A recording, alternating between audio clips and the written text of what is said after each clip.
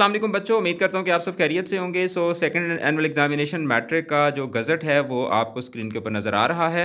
आ, मैं रिज़ल्ट का एनालिसिस भी करूँगा और इसका हम लोग फ़र्स्ट एनुअल एग्जामिनेशन के साथ कंपैरिजन भी करेंगे। तो अगर आपने चैनल को अभी तक सब्सक्राइब नहीं किया तो चैनल को सब्सक्राइब कर लें और वीडियो को शेयर कीजिएगा और अपने रिज़ल्ट के बारे में मुझे कमेंट्स में ज़रूर बताइएगा। तो रेगुलर स्टूडेंट्स की अगर हम बात करें तो सेकंड एनुअल एग्जामिनेशन के अंदर सिर्फ़ 436 स्टूडेंट जो थे, वो अभी इनरोल हुए थे, जिसमें से 424 अपीयर हुए। उसमें से 87 स्टूडेंट्स जो थे, वो फेल हुए और जो पास परसेंटेज थी रेगुलर स्टूडेंट्स की, वो एटी परसेंट थी। और उसके बाद फिर जो प्राइवेट स्टूडेंट्स हैं, उनका जो जो स्टेटिस्टिक्स स्टेटिस्टिक्स हैं, वो इस तरह से हैं कि तेरह हज़ार तीन सौ तिरसठ स्टूडेंट जो थे वो इनरोल हुए थे, जिसमें से बारह हज़ार छः सौ सैंतालीस स्टूडेंट जो थे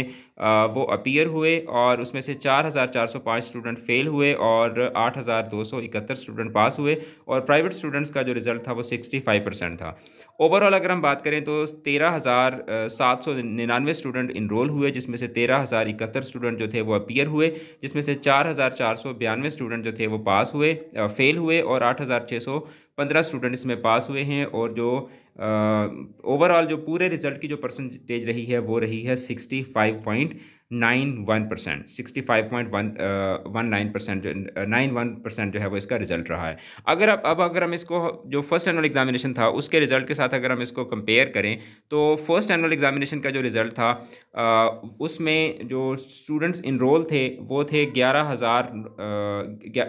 एक लाख उन्नीस हज़ार तीन सौ चौरानवे स्टूडेंट जो थे, वो इसमें अपीयर हुए थे, जिसमें से जो और जो पास परसेंटेज थी, वो eighty nine point six one percent यानी कि जो फ़र्स्ट एनुअल एग्जामिनेशन का रिज़ल्ट था, वो एटी नाइन परसेंट था, और जो सेकेंड एनुअल एग्जामिनेशन का रिज़ल्ट है, वो कितना है, वो है जनाब आपका सिक्सटी फाइव परसेंट और अगर हम जेंडर वाइज बात करें तो फ़र्स्ट एनुअल एग्जामिनेशन के अंदर जो थे आ, जो मेल्स थे उनका रिज़ल्ट 86 परसेंट था और जो फीमेल्स थी उनका रिज़ल्ट जो था वो नाइन्टी थ्री परसेंट था। अब यहाँ पे एक जो चीज़ बड़ी इंटरेस्टिंग है वो ये है कि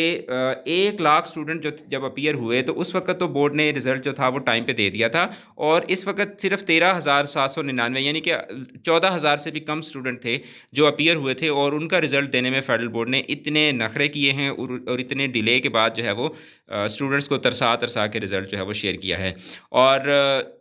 अगर हम लोग कंपैरिजन का कंक्लूजन करें तो जो फ़र्स्ट एनुअल एग्जामिनेशन का रिज़ल्ट था वो बेहतर था और जो सेकंड एनुअल एग्जामिनेशन का रिज़ल्ट है वो बहुत बुरा आया है। तो इससे आप लोगों को क्या समझ आता है? आप इससे क्या नतीजा निकालते हैं? इसका फ़ैसला आप खुद कर सकते हैं। वीडियो को शेयर करें चैनल के साथ जुड़े रहें, अपना रखिएगा बहुत बहुत ज़्यादा ख्याल। ऑल द बेस्ट खुदा हाफिज़